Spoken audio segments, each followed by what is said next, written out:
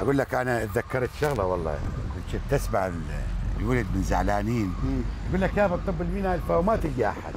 أنا أمانة الله أحكي أمام الجمهور. أنا دا أشوف جيش من يعني جيش من العاملين. هذول ثلاث مشاريع. أما المشروع الثالث الرابع اللي هو الطريق يبعد منا تقريبا 15 كيلو متر ويمتد على مسافة 63 كيلو متر. والمشروع الرابع الخامس اللي هو يبعد عنا آه، 51 كيلو متر اللي هو مشروع النفق. ذاك وحده هو عبارة عن جيش متكامل بغض النظر عن الطريق اللي. واصلين ذاك ما شايفه. من تشوفه كل شخص آخذه لزيارة ذاك المشروع أقول له لا تنصدم لأن حجم العمل مهول جدا والمشروع كبير وفير هيوج.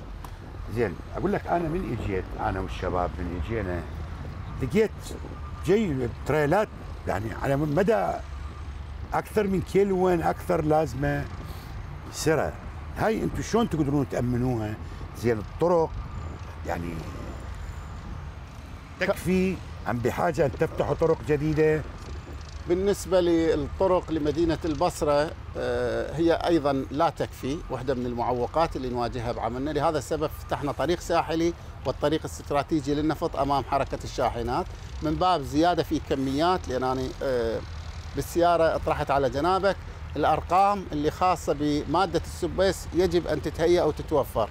يعني بحدود ال 15 مليون طن فقط لساحة الحاويات مليون طن فقط للدايكات الخاصة بعمليات ال- الحفر أو آه، ترسيب 15 المياه. مليون طن. 15 مليون متر مكعب والمتر المكعب بالنسبة لمادة ال subbase أعلى 1.8 على ما أتذكر هذا أي. هذا الرقم. آه، عندك آه، الطريق واحدة تقريبا 2 أو 3 مليون أيضا متر مكعب من مادة السبيس. هذه كلها لازم تدخل تباعا إلى المشروع. إحنا في نيتنا لو كان هناك توسع منظور أو بالمستوى ال- ال- الأيام القليلة القادمة في قرار حكومي بتوسع مشروع ميناء الفاو راح نلجأ إلى فتح طريق ونصب جسر في مكان تم تحديده ورسم السياسة الكاملة لإنشاء جسر بحيث نخلص مدينة البصرة من حركة هذه الشاحنات اللي هي بحدود ألف شاحنة يوميا من مادة السبيس فقط تدخل إلى مشروع ميناء الفاو